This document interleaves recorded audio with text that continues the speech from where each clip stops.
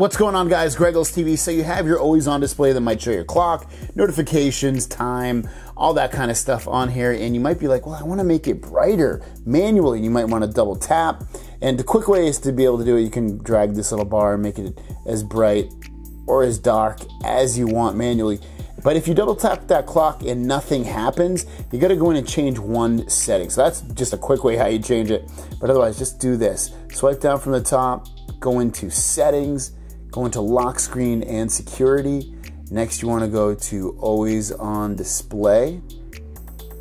And you want to go down here where it says auto brightness. If you have auto brightness on by default, you will not be able to double tap that clock to change the brightness manually. So what you want to do is turn off auto brightness. And you can change it right here from if you want to change the brightness. Otherwise, like I said, when you go in here and your auto, your always on display shows up, just double press that clock and you can manually do it right here so that you can better see this have it be indoors outdoors whenever you want or you can just keep it the way it was on auto brightness and you can always change it. But that's a quick way on how to manually change the brightness on your always on display on your galaxy phone.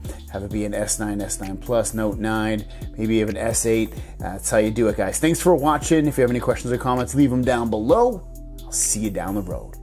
Peace